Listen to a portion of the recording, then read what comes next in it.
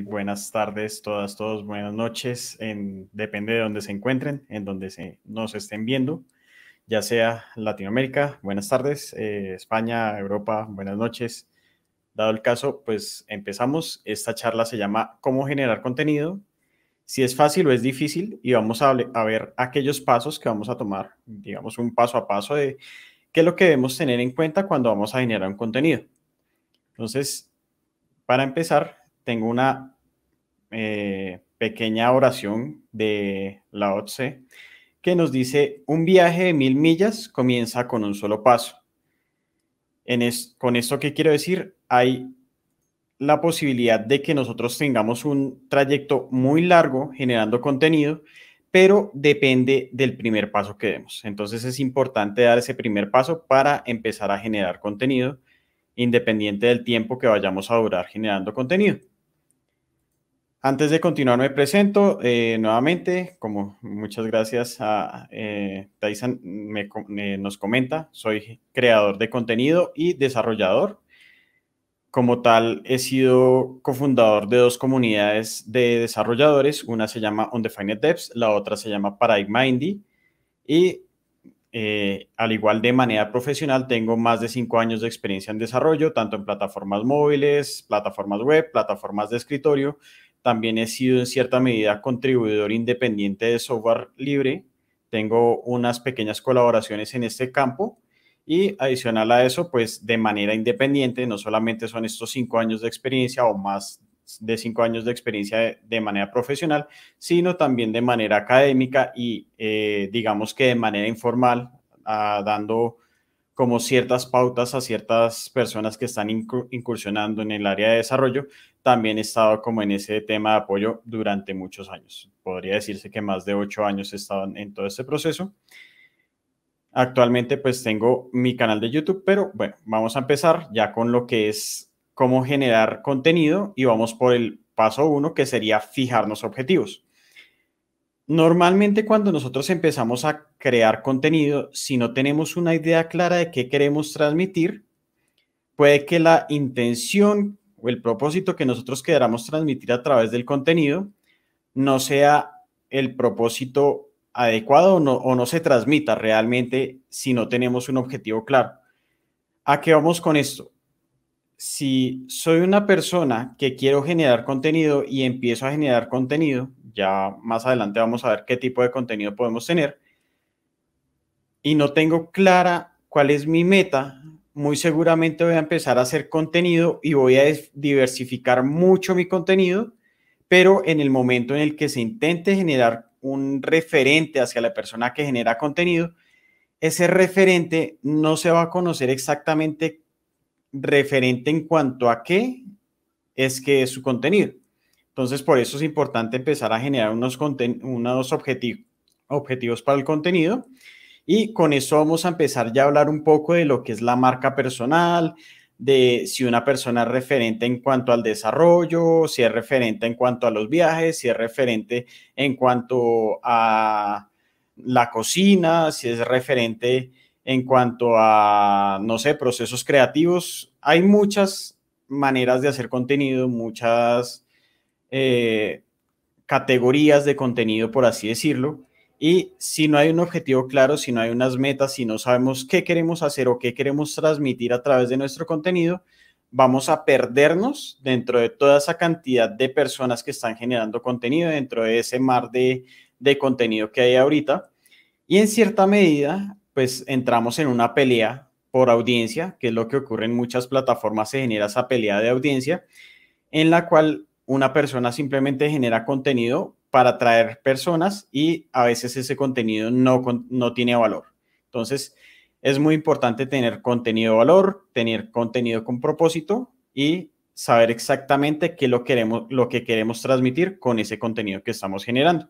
Ese sería como el primer paso. Vamos a, seleccionar un segundo paso y aquí vamos a hablar de las plataformas. Sabemos que hay unas plataformas donde el contenido es de libre distribución y hay otras plataformas donde el contenido puede ser contenido eh, que uno va a tener a través de una suscripción y estas suscripciones son contenido exclusivo para las personas que lo han pagado. Entonces vamos a poder tener ambas eh, posibilidades dentro de ciertas plataformas. Vamos a hablar en este caso de software. Y hablando de software, pues tenemos GitHub. GitHub en ciertos países tiene esta opción de sponsor. Entonces podríamos generar contenido de manera gratuita en cuanto a software. Y si nuestro país está disponible, podríamos aplicar a estos sistemas de sponsor. Igual no implica que si nosotros estamos generando código, no podamos tener como unos ingresos a través del mismo. Podemos utilizar otras plataformas de sponsor para creadores de contenido como son eh, Patreon o tal vez un PayPal para que nuestro contenido se sponsorice a través de esos recursos. Si llegan a tener alguna duda con respecto a esto de monetización, pueden informarme en la caja de comentarios. Yo estaré muy pendiente y más adelante estaremos respondiendo las dudas que tengan con respecto a esto. Pero tenemos en este caso que dependiendo de la plataforma, nosotros también vamos a adecuar nuestro contenido a dicha plataforma. Porque si nuestra plataforma o la plataforma que hemos escogido es una plataforma de contenido exclusivo, debemos saber que el contenido que vamos a generar es un contenido único para esa plataforma y mm, los usuarios que tengan esa exclusividad no deben encontrar ese contenido de manera gratuita en otro lado, porque la experiencia y la expectativa que van a tener con respecto a un pago de una suscripción va a decaer en caso de que vean el contenido de manera gratuita, por ejemplo, si crea un curso en Udemy de manera paga y lo encuentran de manera gratuita en YouTube, entonces sus expectativas van a bajar y obviamente no van a estar contentos con un contenido que esperaban sea de total exclusividad. Entonces hay que tener mucho cuidado cuando estamos seleccionando una plataforma debido a que las plataformas también influyen en el tipo de contenido que nosotros estamos generando. Vamos a seguir. Igual si voy muy rápido, me avisan estoy muy pendiente y vamos ya a un plan de trabajo. Entonces, eh, tal vez sí estoy yendo muy, muy rápido, pero entonces vamos a empezar a, a desglosar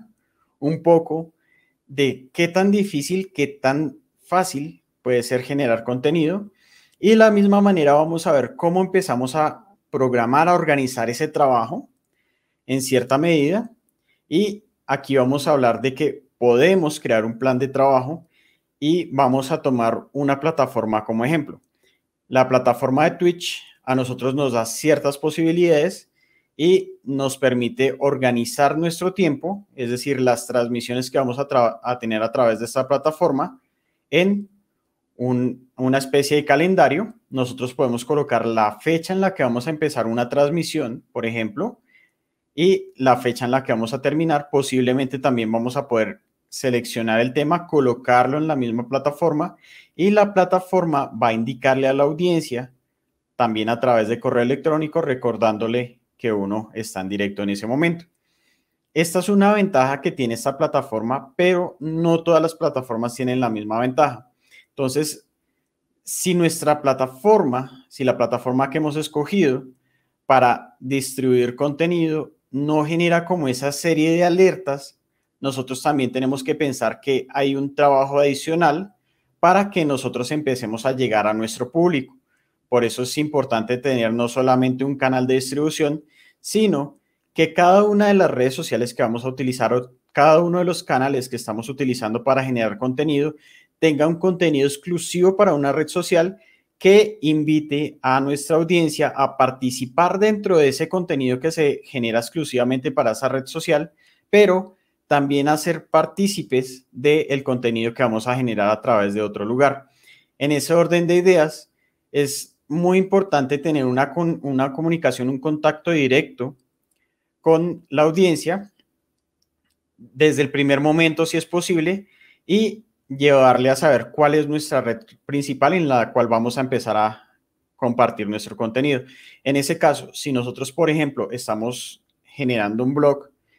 y sabemos que ese blog no genera alertas a través de correo electrónico, posiblemente podríamos utilizar Facebook diciéndoles, hey, hay una nueva entrada en mi blog, me gustaría que lo leyeran y compartirán esa información, al igual que también sería de mucha ayuda, y eso es una, un llamado a la acción, que ustedes escriban un comentario y den un me gusta o lo que sea que se esté manejando dentro del blog para saber que el contenido que estoy desarrollando es un contenido que es grato y que está aportando valor a la persona que lo está leyendo, la persona que lo está compartiendo. En ese orden de ideas, entonces es empezar a no solamente planear el contenido en una red eh, o en un canal específico, sino que también tenemos que empezar a planear un contenido que va a estar en redes sociales. Eso lo podemos hacer de manera paralela o si deseamos como eh, diversificar el, el, tipo de contenido que debamos hacer, esta diversificación también nos, nos indica que podríamos hacer como unos objetivos y un plan de trabajo para cada una de las redes o de los canales que vamos a utilizar. Entonces tenemos la primera opción que es organizar el tiempo. Vamos a dedicar, no sé, una hora a la semana, tal vez una hora para mucha gente puede ser mucho. Y en ciertos casos, por ejemplo, voy a, el contenido que quiero eh, transmitir o que quiero compartir no va a ser un contenido multimedia, sino tal vez sea, por ejemplo, un libro, un, eh, un tutorial o algo que sea de manera escrita, con el hecho de solamente dedicarle 30 minutos a, escritura o tal vez 30 minutos a revisar o a organizar ideas, es algo que tenemos que programar dentro de nuestro horario de la semana y de esa programación, el tiempo que empecemos a dedicar, entre más empecemos a generar esa cultura, esos hábitos, más fácil va a ser para nosotros a futuro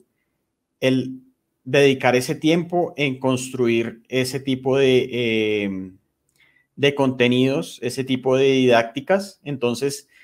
si escribo una hora al día, em, digamos, si en una hora escribo eh, media página el primer día, muy seguramente en una hora, en un mes, voy a poder terminar escribiendo tres páginas de un libro.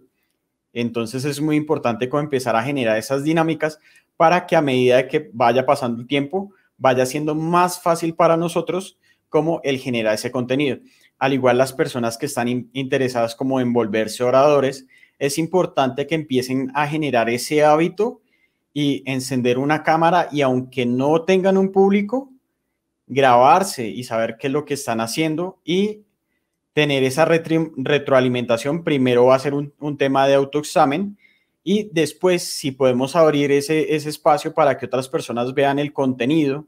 vamos a poder también tener esa especie de retroalimentación. Entonces,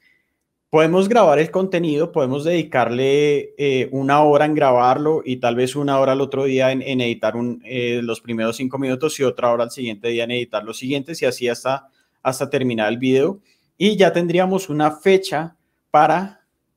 hacer la publicación. Entonces, nos podemos como fijar metas pequeñas a cortos plazos en los cuales vamos a generar también ciertas publicaciones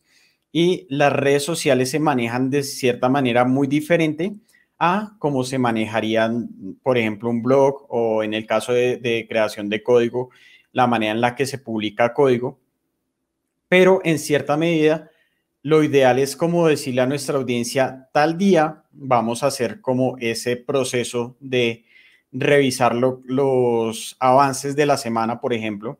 y tendría como un, caso de ejemplo una persona que se dedica a generar contenido, en específico blogs, sobre eh, accesibilidad en la web y todos los viernes escribe el día de mañana a tal hora o el día de hoy a tal hora va a estar publicado el blog eh, para que por favor estén pendientes y le, igual comparten en ciertas ocasiones y eso también hace parte de la generación de contenido. Y ahí es donde vamos a, ver qué es contenido. El hecho de crear hilos dentro de Tweet, dentro de Twitter, para que eso también genere valor al contenido que ya está realizando. Entonces vamos a tener otro contenido que puede ser un contenido que no nos, no nos gaste mucho tiempo, que sea un contenido muy sencillo de, tanto de generar como de, de consumir que es la creación de un hilo en Twitter. Entonces, ese también es contenido que nosotros podemos agregar a nuestra lista de opciones, al, al valor que queremos agregar a nosotros como no solamente eh, un creador de contenido, sino nuestra marca, la, la, manera en la que vamos a nosotros comunicarnos con nuestra audiencia. Entonces, no solamente es contenido que nosotros podemos hacer desde un punto multimedia, sino también podemos focalizarnos en simplemente escribir un tweet y hacer un hilo muy sencillo que podemos ir alimentando a medida de que va pasando el tiempo. En ese orden de ideas, otra cosa que nos puede ayudar es programar, qué pena el, error tipográfico que está allí, programar las publicaciones y algunas redes sociales, y estoy hablando en este caso de, de Twitter, nos permite hacer esa programación de un tweet. Entonces podríamos programar un tweet con una llamada a la acción, es decir, si por ejemplo yo el día de mañana voy a publicar un blog, y sé a qué hora lo voy a publicar, puedo programar de una vez el tweet que va a ser la llamada a visitar el blog el día siguiente, a la fecha, hora específica, y esto nos lo, nos lo permite hacer ciertas redes sociales. Estaríamos hablando no solamente de Twitter, también tendríamos el caso de, de una red social que en este momento está teniendo algunas fallas eh, y como saben ha estado también afectando no solamente eh, la comunicación entre de manera social, sino tal vez también de manera laboral, pero pues no al, tema. Pero sí podemos utilizar como estas redes sociales y también tenemos que tener planes de respaldo por lo que en este caso está ocurriendo con esta red social, ya que si falla la red social por X o Y motivo, nuestro plan de respaldo nos va a apoyarnos para que nuestro contenido igual siga siendo visible independiente de lo que haya ocurrido. Entonces tenemos que tener como esas capacidades de pivotar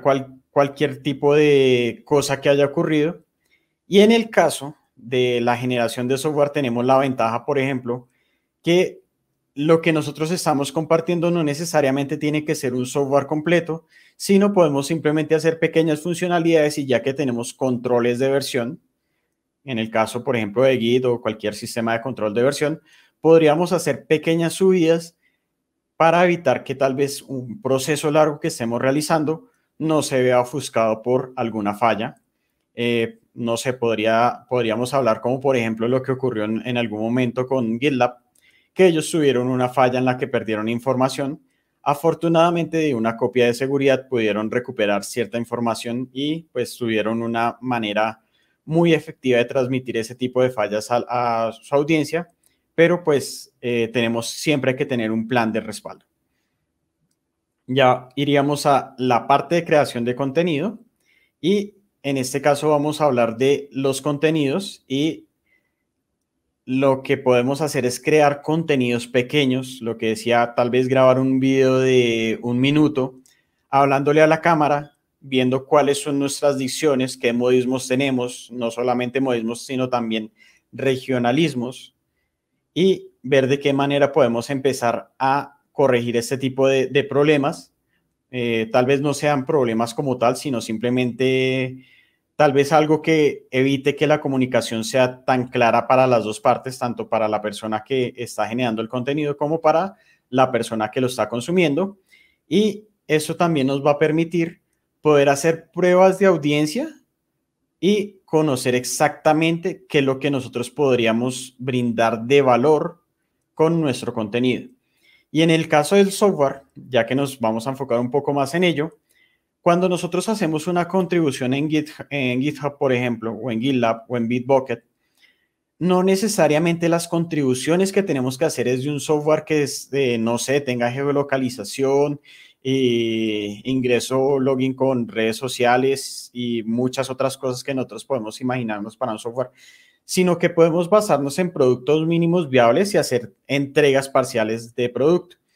Y eso nos permite que cada pequeña entrega, que cada generación eh, corta de contenido pueda tener una retroalimentación de las personas que van a consumir ese contenido y nos puedan decir qué otras características o qué otras mejoras o qué, qué soluciones, qué fallos pueden encontrar en el software que vamos a ir generando. En ese orden de ideas o de, de la misma manera, nosotros también podemos compartir contenido muy pequeño que únicamente solucione un problema cotidiano de una persona. ¿Y con qué me refiero a esto? Muy seguramente existen muchos desarrolladores que no están como muy, eh, muy empapados del tema de DevOps y tal vez un script que alguien generó para, no sé, eh, montar Kubernetes o virtualización o algún script muy pequeño que se comparta a través de eh, un sistema como GitHub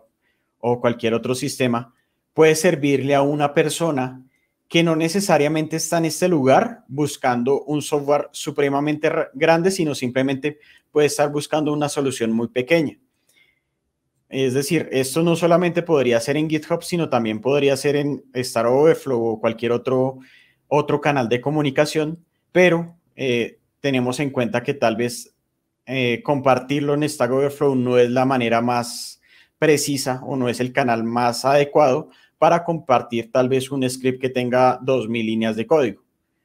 Y bueno, estoy tal vez exagerando un poco, pero he visto scripts supremamente largos que solucionan inconvenientes muy específicos para personas que no necesariamente tengan un perfil técnico. Algunas de estas soluciones pueden llegar a ser para personas con un perfil medianamente técnico o simplemente una persona que maneja su equipo para algo muy cotidiano y simplemente copia una línea, sigue una serie de pasos y soluciona un problema con su, con su equipo tal vez de, la casa, entonces, eh, del hogar. Entonces, no necesariamente el contenido que vayamos a hacer tiene que ser un contenido supremamente grande, sino podemos dividir eh, como esas entregas de valor en pequeñas entregas de valor y entre más pronto podemos hacer esas entregas de valor, más fácil vamos a tener tanto retroalimentación como vamos a llenar de manera más simple las expectativas de nuestra audiencia. Entonces, cuando hablamos de crear un primer contenido, no vamos a hablar de crear un contenido que sea extremadamente difícil, con una producción súper grande, con una cantidad de tiempo eh, como en planeación, en, en, una cantidad de cosas que podemos hacer en pequeñas entregas, en pequeñas partes e ir mostrándole ya a una audiencia. Y en este caso es que e, es en el que hablamos de que la manera en la que creamos contenido puede ser tan sencilla como, nosotros podamos partir esas entregas de valor en entregas de valor más pequeñas. Si nosotros eh, como que no tomamos, no empezamos a hacer ese tipo de ejercicios, en el momento en el que nosotros vayamos a hablar con nuestra audiencia, tal vez sea muy tardío y nuestra audiencia se haya eh, dispersado hacia tal vez otras fuentes que le entregan valor de manera más inmediata y tal vez eh, un poco, entienden un poco más las necesidades de, esa audiencia. Entonces, las entregas de valor, ¿qué es lo que buscan? Conocer las necesidades de la audiencia y no desfocalizar a la audiencia del valor que se le está entregando. Eso sería como esta parte de creación de contenido y es como el, la parte fuerte del core de esta charla, en la que hablamos de que el contenido puede ser sencillo, puede ser de valor pero es importante escuchar a nuestra audiencia para saber exactamente qué nos quedamos del contenido que estamos generando o qué podemos quitar de ese contenido. Ya por último, ya como cerrando un poco, sería medir los resultados. Tendríamos, eh, por ejemplo, aplicaciones como YouTube, aplicaciones como Facebook, aplicaciones como Twitter, en la que nosotros tendríamos una métrica personalizada de cada uno de los contenidos que nosotros estamos realizando, cuál es el alcance y una serie de métricas que muchos llaman métricas de vanidad, pero estas métricas también nos, llevan a saber exactamente qué contenido pudo haber gustado, por ejemplo, eh, si subí un video muy corto explicando no sé, cómo reiniciar un servidor de Apache a través de la línea de comandos con SSH. Y este gusto fue más sencillo que tal vez explicarle a una persona cómo hacer todo el proceso de, DevOps para montar un, un desarrollo en Python con integración continua. Tal vez este video que pudo haber sido de tres horas, cuatro horas, cinco horas, un video bastante largo, sea menos eh, atractivo para una audiencia que este video corto en el que simplemente se, se, le, enseña cómo realizar un, reset, una conexión a SSH. Ese, ese, sería un ejemplo. Y este tipo de métricas nos llevan a saber qué contenido es el contenido que es más atractivo para la audiencia y que puede solucionar, solventar las necesidades de la audiencia de manera más pronta. Adicional a esto, también tenemos que buscar ese contacto y no deshumanizarnos tanto porque normalmente el contenido que tiene valor, el contenido que intenta generar valor, está muy apegado a la parte emocional. Entonces, si hay que ser emocionales, tenemos que también tener esas posibilidades de abrirnos a que la audiencia nos conozca a través, no sé, de una transmisión en directo, a través de una encuesta, buscar escuchar la voz de esa audiencia de alguna manera. Entonces es importante como también abrir esos espacios y si se pueden medir esos espacios para que la gente nos diga, me gustó esto, no me gustó esto, quiero que rescates esto, quiero seguir escuchando esto, no quiero seguir escuchando esto. Esos espacios también son muy importantes para conocer cómo vamos. Entonces es muy importante tener como esas métricas bastante claras y por qué razón nosotros vamos a, buscar cómo medir esas métricas, porque estas métricas deben ir también muy alineadas a los objetivos que en el primer paso realizamos. En ese caso, los objetivos van a ser las metas y las métricas van a ser qué tanto me estoy acercando a esta meta. Más o menos vamos a trabajarlo de esa manera y hasta aquí vendríamos con el proceso. Ya por último sería, volvamos a empezar todo de nuevo. Y es, ya que me di resultados, ya que sé cuál es, cuál es la meta, si veo que tal vez la meta no está tan acorde con lo que estoy haciendo, voy a tomar decisiones para cambiar el contenido que estoy haciendo y que, sea, que se ajuste más a la meta, o si me doy cuenta que la meta tal vez no es lo que quiero realmente hacer, sino que me gustó tal vez otra cosa, entonces ajusto mis objetivos para que eh, lo que estoy haciendo no tenga que cambiarlo drásticamente, sino que mi meta se convierta en algo eh, como un objetivo, un, logro nuevo a partir del, punto en el camino en el que me encuentro. Entonces, eh, tanto como tenemos un punto de partida, como vamos a tener un punto de pivoteo o un punto de quiebre en el cual vamos a seguir tomando decisiones para seguir construyendo contenido. Lo ideal o realmente lo que busco con este tipo de charlas es que las personas no se queden simplemente en una idea para generar contenido, sino que en su primer paso en generar contenido. Y en ese caso, les preguntaría si están listos para compartir, si están listos para empezar a generar contenido. Como siempre, lo más difícil es empezar. Yo creo que hasta aquí sería todo. Igual los invito a seguirme en mis redes sociales. En GitHub estaría como Manuel Gil, en Twitter y YouTube como IM Gildev.